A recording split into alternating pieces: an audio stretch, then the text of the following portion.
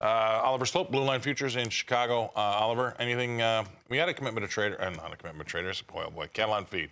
Uh, I think you knew what I meant, but uh, what are your thoughts there? Well, we had both. Yeah, you're right. You're right. We did.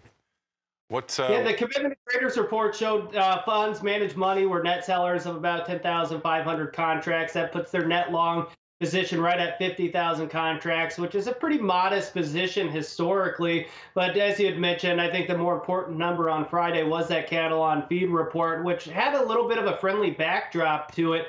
But we've been kind of talking with clients here at the end of last week and starting this week that this isn't really the time to to get excessively bulled up. We're at the upper end of the trading range with today's open, and we're entering a, a, time of year that's seasonally a little bit bearish. From November 27th into January, we've seen February live cattle retrace. Uh, for 14 out of the last 15 years with the average pullback of about three bucks. So if you want to be bullish, that's fine. But if, if you're a livestock producer, this is an excellent opportunity to protect price. All right, you just ended perfectly when they told me to wrap it up, so I can't add on anything because that was all just what we wanted. Great content. I appreciate that very much.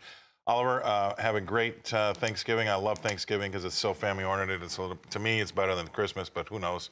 Uh, maybe it's because I like eating, but I like eating at both of them. But anyway, thank you very much, uh, Oliver Sloup, Blue Line Futures. Thanks for coming on. We're